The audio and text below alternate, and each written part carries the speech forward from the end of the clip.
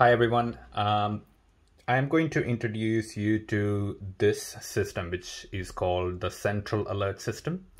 Uh, it's designed by Serene Innovations uh, in the United States. And uh, this system uh, specifically is uh, primarily, I should say, is built to help deaf and blind. Um, and these are the accessories um, associated with the system. Uh, this is a bedside alarm clock uh, that primarily connects most of the accessories. Um, in this illustration, I'll be showing you how the doorbell, this is the doorbell, how this operates. And uh, in another video, I will be showing you how to connect the smoke alarm sensor to the existing smoke alarm. So that's the best thing about Central Alert is you can use this smoke alarm sensor um, to be placed next to an existing smoke alarm so you don't have to purchase a smoke alarm.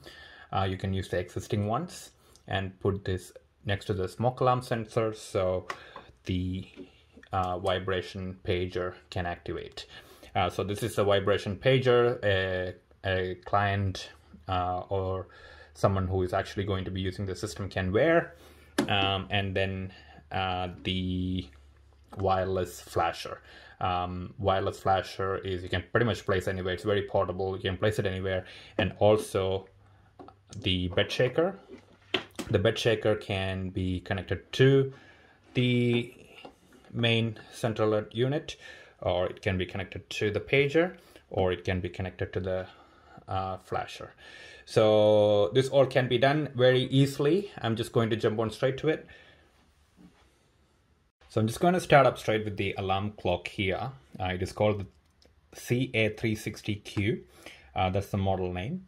Uh, so this pretty much connects most of the accessories together, uh, which I will show you.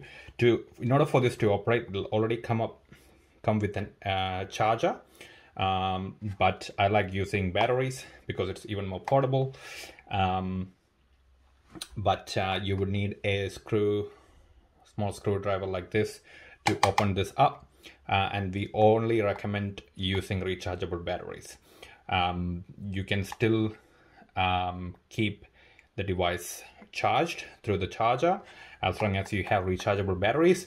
If it is not rechargeable if it is it is, it is going to damage the system so we don't recommend using non-rechargeable batteries only rechargeable batteries like energizer batteries here. So you can see energizer recharge uh, you can buy these from uh, Woolies or JB Hi-Fi, um, etc.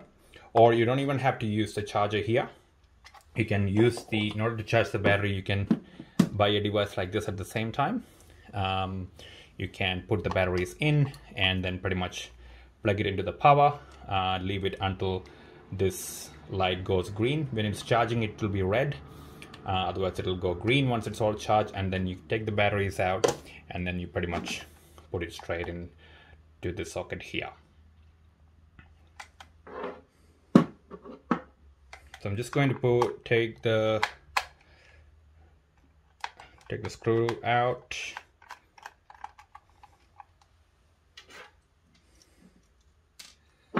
Put the batteries in. So you pretty much open this up put the batteries in.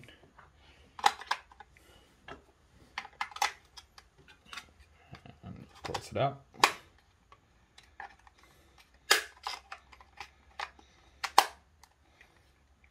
See the devices come on. Um,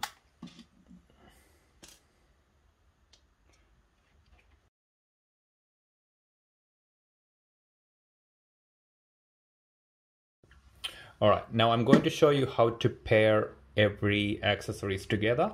I'll show you how to connect the smoke alarm sensor in a different video like I mentioned. So at the moment I'm going to uh, connect the doorbell, the portable flasher receiver and the vibration pager, the portable pager uh, into the main hub. Um, so everything activates all at once.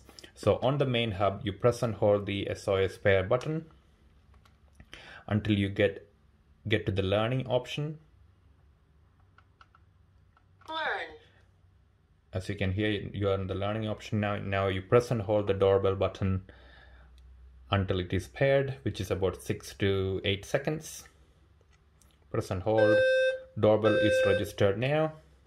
Doorbell is done, and now you press and hold the SOS button on top of the portable flasher. So you press and hold. Now you keep pressing it, and now that's registered.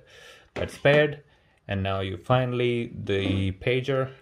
What you would do is you press and hold the learn button here until it flashes as well and keep pressing it and that's registered now oh. now we're going to test this one so we're going to press the doorbell you can see that flashing. As well. So in order to press in order to stop any notification you just need to press the reset button once. Uh, you can do that in this uh, portable flasher as well or you can also reset it on the main pager as well and everything will turn off. So once again you press that everything goes off and you press the reset. Once you press the reset, you can see everything has turned off.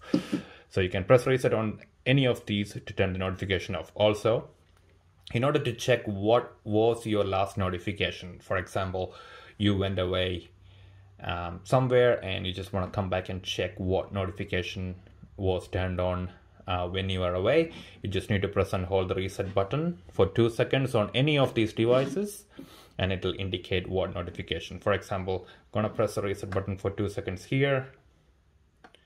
Doorbell ringing. it shows doorbell. And it also speaks out uh, for someone who is blind they would know their doorbell rang when they were away. Same thing with this one. Press and hold the reset button. And it'll make the doorbell sound in, and flash over there indicating it was a doorbell that um, indicating it was a double that activated last. Same thing here um, which is you pretty much press and hold the reset button and it'll, show you when you press and hold the reset button on the pager as well it'll show you what exactly activated um, uh, what was the last notification that was activated.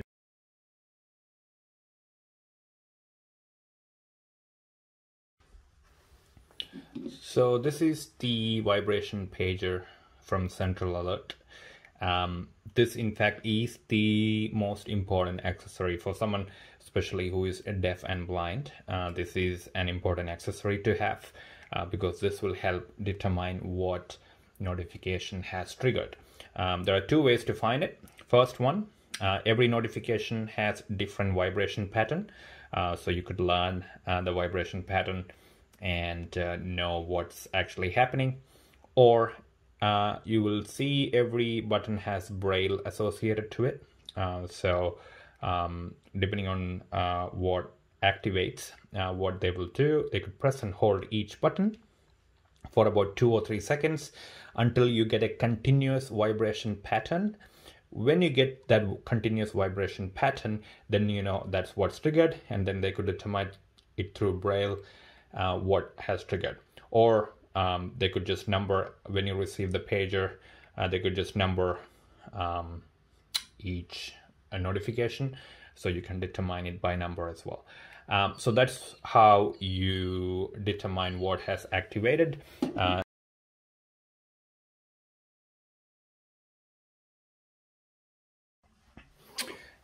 uh, so this is the smoke alarm sensor which you will uh, pretty much place next to any existing smoke alarm. So you don't have to specifically buy a smoke alarm uh, for this system. You can use the existing one.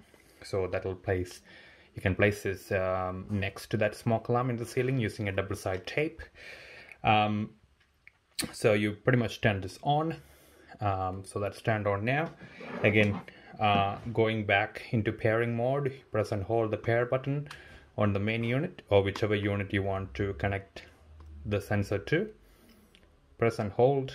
Once it's in learning mode, you press and hold this green button on the smoke alarm sensor for about 6 to 7 seconds until uh, it activates here. So now this um, is paired with the main unit which means when a smoke alarm uh, makes noise uh, this sensor activates uh, triggering uh, the main hub, uh, which means it'll trigger all the uh, accessories associated with it.